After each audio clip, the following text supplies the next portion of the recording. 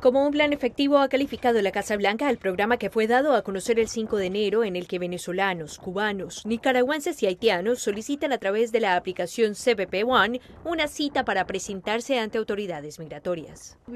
Anunciamos el número más bajo de cruces ilegales en puertos de entrada desde febrero de 2021. Los datos no han sido aún publicados por la Oficina de Aduanas y Protección Fronteriza CBP por sus siglas en inglés, pero dan cuenta de una reducción del 97% con respecto al mes anterior, y es que presentarse ante autoridades migratorias abre caminos a procesos legales.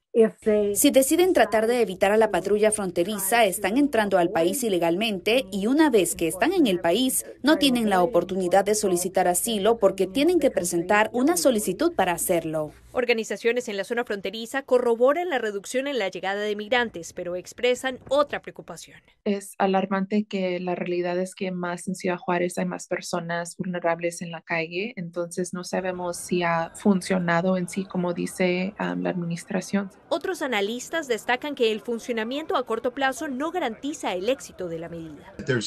Hay una gran diferencia entre 360 mil cupos disponibles y 600 mil personas que ingresaron. Eso va a causar problemas. Y si el gobierno mexicano solo va a recibir a 30 mil de ellos, terminaremos teniendo más personas entrando. La Casa Blanca además destaca como un logro el apoyo recibido por el sector privado que ha invertido más de 4 mil millones de dólares para generar oportunidades económicas en países centroamericanos con la meta de desmotivar la migración irregular. Laura Sepúlveda, Voz de América, Austin, Texas.